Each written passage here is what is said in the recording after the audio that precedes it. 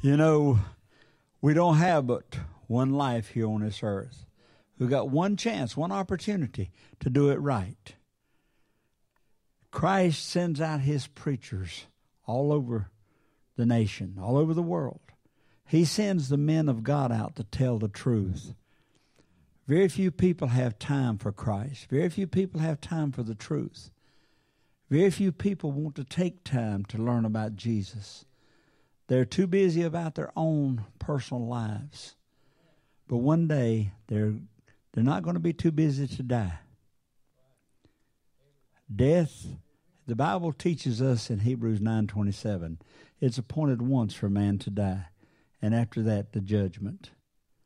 We're going to be all of us are going to die, all of us. And I was telling my wife and my daughter and her husband yesterday I didn't have anything prepared for today. I, have been so busy that I've just been praying and just asking God. I said, God, you're going to have to give me the words to say. You have to give me the message, which I always let Him give me the message. I have always trusted God. But this morning it was so unusual the way He gave me this one, Brother Thomas. He he told me to go to Matthew, and I went to Matthew, and first of all, I started at I started at chapter eight and just started reading but nothing hit home. When I got to chapter 16, verse 6, if you have your Bible, turn to Matthew 16 6. Then Jesus said unto them, Take heed and beware of the leaven of the Pharisees and of the Sadducees. Take heed of the leaven of the Pharisees and the Sadducees.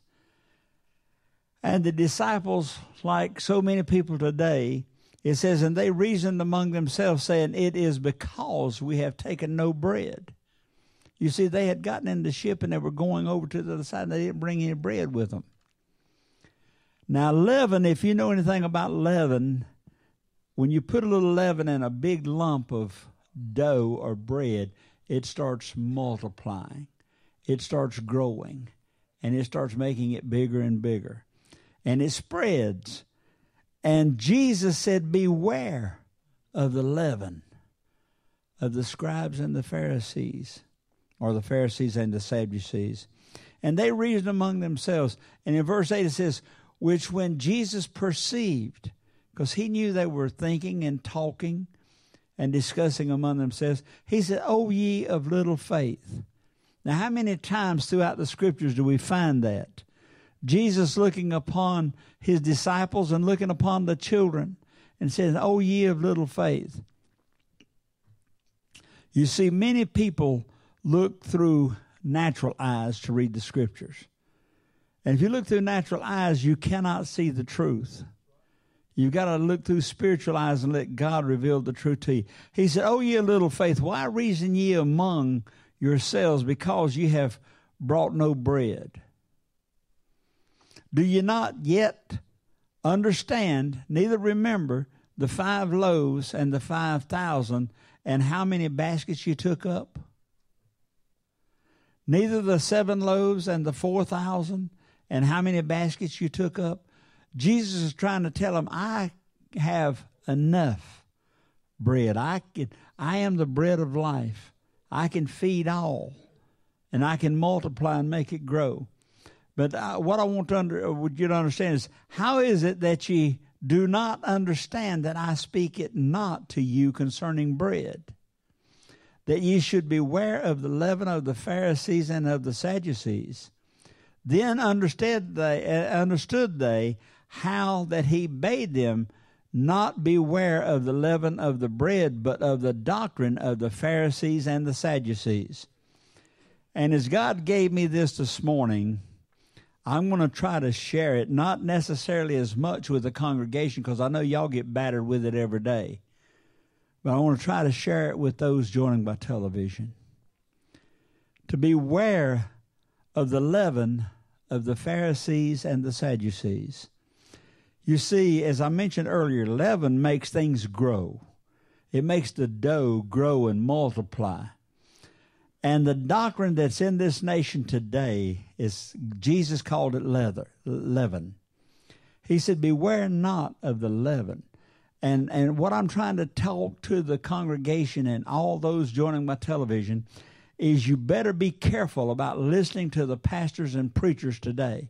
There's some leaven out there. It's called the, the, the doctrine of prosperity, the doctrine of signs and wonders and miracles.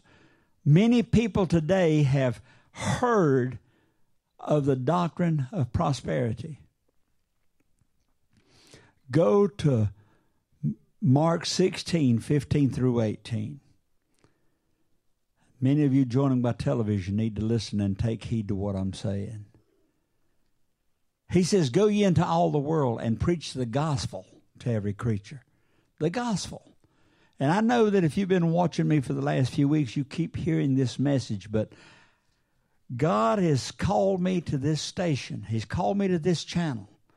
The TV station that you're watching, the channel you're watching, the program you're watching, He's called me and put me there for a reason. He says, Beware of the leaven of the Pharisees and the Sadducees.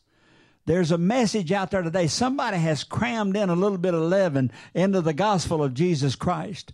And if that leaven is growing and it's multiplying. Why? Because preacher after preacher after preacher is hearing that if I get up and preach prosperity, people are going to send me money and I'm going to get my pocketbook full and I'm going to become wealthy and I can have what I want. And that's all they're doing. They're feeding off the congregation. They're feeding off the widows. They're feeding off the poor people. They're feeding off the country because they've heard it. And that leaven is growing and growing. Another preacher says, you know, they no sense in me going out and work 40 hours a week. I'm going to become a preacher. I'm going to go to college and learn how to get that money. Then here comes another preacher. Well, I heard him preaching. I see him filling his pockets up, driving all these fancy cars, living in all, all these fancy homes and stuff. I'm going to go do the same thing. And you see, the leaven is growing and growing and growing, but it's not of God. He said, go preach the gospel. They don't preach the blood of Jesus. They don't preach repentance. They don't preach that you must be born again.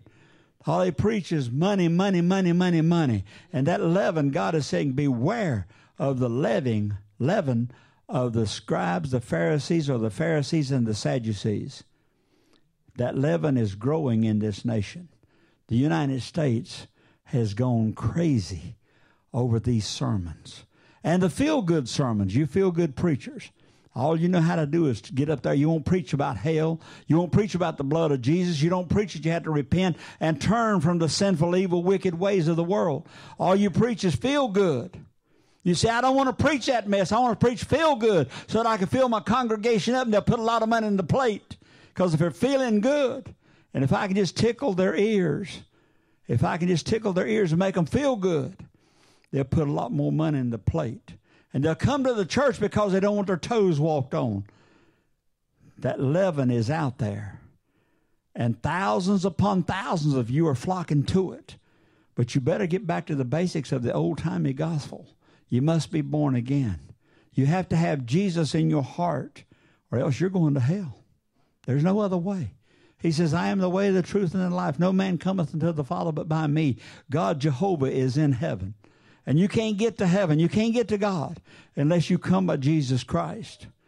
And that's why God has sent me to talk to you. I'm here today to talk to those of you joining my television to warn you. Because when you stand before God, you can't say, Well, I didn't know. Because now you know. You know that you have to be born again. And you know, the theme of our program is Jesus is the answer. Because a lot of you, you hear that jingle, and that jingle will stay in your head. Jesus is the answer, the answer around the world. And sometime during the, the next future, or in the future, the next month or so, you're going to hear that jingle come on. And you're going to say, oh, that's that old crazy preacher from North Carolina. I'm going to turn it off. And you can turn it off, but you've already heard that Jesus is the answer. You've already heard the message. So you see, whether you listen to me or not, you've already heard the message. Jesus is the answer, the answer around the world. And He sent me here to warn you and to tell you that you have to be born again. Now, the next thing I want to talk to is the congregations. I want to talk to all you congregations that are sitting under these pastors that are sitting under the prosperity preachers, that are sitting under the feel good preachers. I want to say one thing quit dropping your money in the basket. Take away their salaries and see how long they stand there and preach to you. Take away their income and see how long they stand there, stay at that